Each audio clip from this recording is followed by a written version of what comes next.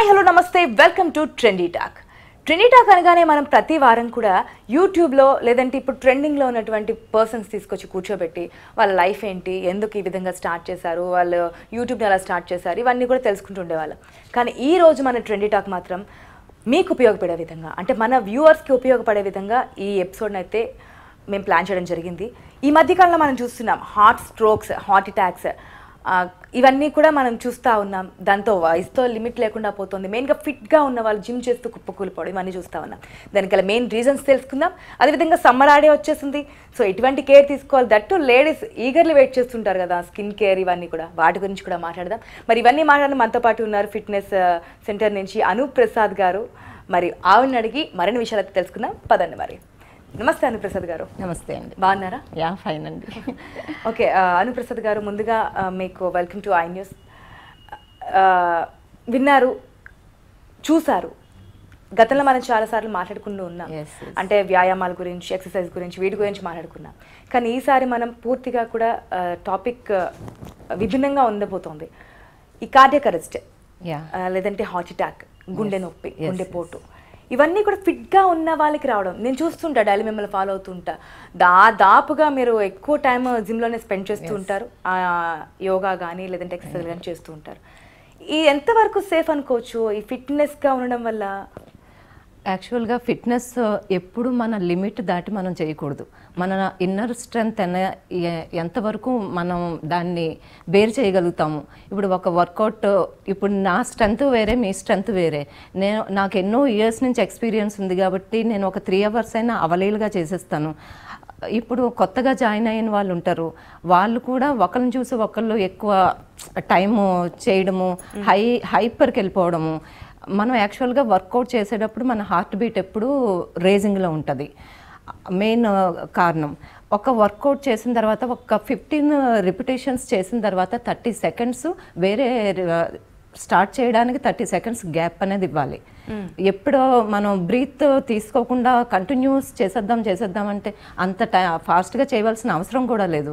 మనం ఒక జిమ్ ప్రశాంతంగా ఒక టూ అవర్స్ వన్ అవర్ ప్రశాంతంగా మనకి మనం రక్షించుకోవడం కోసం మనం మన ఫిట్నెస్ లెవెల్స్ని కాపాడడం కోసం మన హెల్త్ కాపాడడం కోసం ఫిట్నెస్ అనేది చేస్తాం. సో అక్కడ మనం ఎందుకు హడావిడి పడిపోవాలి? అదే వస్తుంది. ఆరోగ్యం కాపాడుకోవడం కోసం జిమ్కి వెళ్తున్నాం సరే అంటే మన బాడీ ఫిట్గా ఉండాలి. అనేది ఎక్సర్సైజ్ చేయడం లేదంటే జిమ్కి వెళ్ళి ఇప్పుడు అందరికీ కూడా సరా మామూలు అయిపోయింది. ప్రతి ఒక్కరు కూడా వాళ్ళ డైలీ రొటీన్ లైఫ్లో జిమ్ అనేది ఒక భాగం అయిపోయింది. ఐదర్ మార్నింగ్ లేదంటే ఈవినింగ్ వాళ్ళు జిమ్ అనేది రొటీన్గా చేస్తున్నారు ఆ జిమ్ నే ప్రాణానికి హాని కింద మారిపోతున్న పరిస్థితులు ఈ మధ్య కాలంలో ఎక్కువగా చూస్తున్నాం. రీజన్ ఏమనుకోవచ్చు? యాక్చువల్గా ఏంటంటే ప్రతి ఎవరికైనా సరే డైట్ అనేది చాలా ఇంపార్టెంట్. రెస్ట్ అనేది చాలా ఇంపార్టెంట్.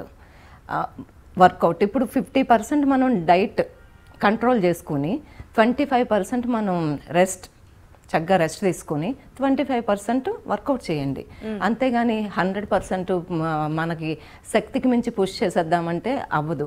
అండ్ ఫ్యామిలీ హిస్టరీ ఉంటుంది హ్యాబిట్స్ ఉంటాయి మన వే ఆఫ్ లైఫ్ స్టైల్ ఉంటుంది. ఇప్పుడు చాలా మంది బాయ్స్ జిమ్లో వస్తారు స్మోకింగ్ స్మెల్ వస్తూ ఉంటుంది వాళ్ళ దగ్గర. యాక్చువల్గా స్మోకింగ్ చేసేటప్పుడు మన హార్ట్ బీట్ అనేది నార్మల్గా ఎక్కువ అవుతుందన్నమాట.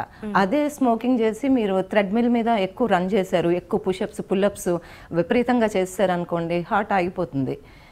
అదొకటి మెయిన్ రీజన్ మన హ్యాబిట్స్. చాలామంది ఎనర్జీ డ్రింక్స్ అని తాగుతూ ఉంటారు. అది ఫస్ట్ ఆఫ్ ఆల్ స్పాయిల్ చేస్తుంది మన ఇంటర్నల్గా ఆర్గాన్స్ని. ఓకే. ఇమీడియట్గా మనం రెడ్ బుల్స్ అని ఇవన్నీ అవన్నీ ఇన్ ఇన్స్టంట్ ఎనర్జీ కోసం తాగుతాము. చూస్తున్నాం కదా చూస్తున్నారు. అప్పుడు మీ స్ట్రెంగ్త్ ఏంటనేది మీకు తెలియదు మనం చాలా ఎనర్జెటిక్గా ఉంటాము ఏమైనా చేసేస్తాం. ప్రోటీన్స్ కూడా చూడండి. ప్రోటీన్ పౌడర్స్ సజెషన్ లేకుండా తీసుకోవద్దు. అది కూడా బ్రాండెడ్ ప్రోటీన్ పౌడరు. మనకి ఎంత అవసరం? మన బాడీకి ఒక రోజుకి మన ప్రోటీన్ ఎంత అవసరం? మన అది ఆహారంలో మన ప్రోటీన్ మనకి ఎంతవరకు వస్తుంది? అది కాకుండా ఎక్స్ట్రా ఎంత కావాలి?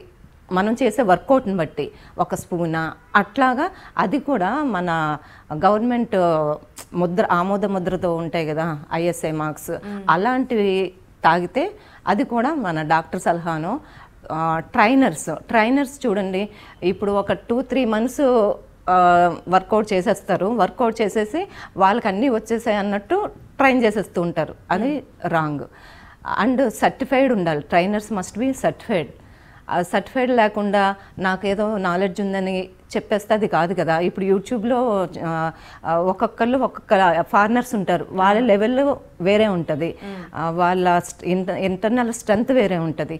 వాళ్ళు చేసినట్టు వాళ్ళ వీడియోని పెట్టి మనం మనం అంటే రోజు చేయగలను కాబట్టి నేను చేయగలను. కానీ వేరే వాళ్ళు నార్మల్ పీపుల్ చేయలేరు కదా.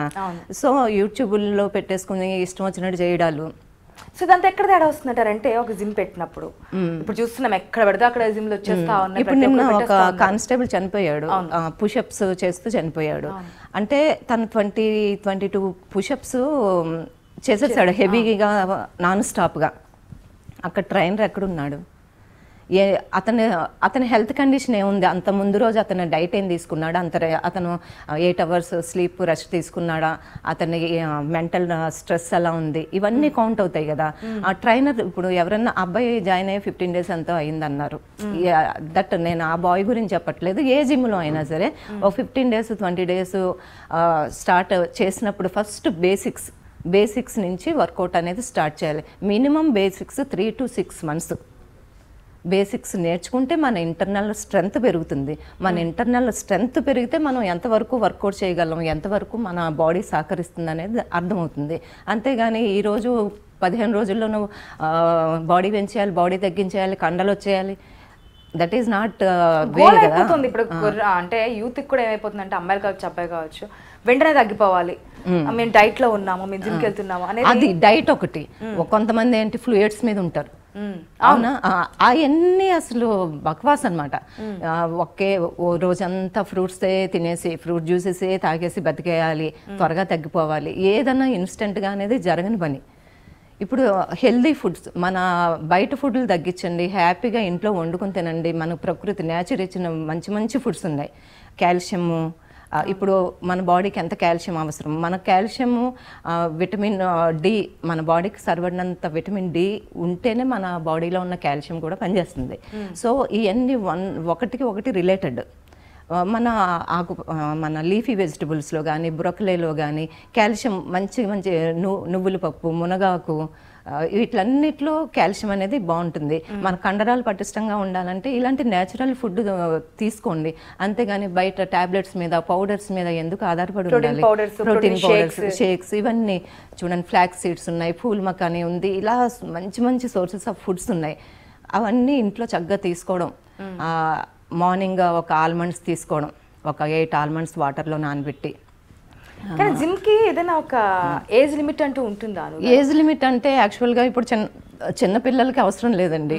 అంటే ఏ ఏజ్ నుంచి స్టార్ట్ చేయొచ్చు? చేయొచ్చు ఎయిటీన్ ఇయర్స్ అట్లా స్టార్ట్ చేయొచ్చు.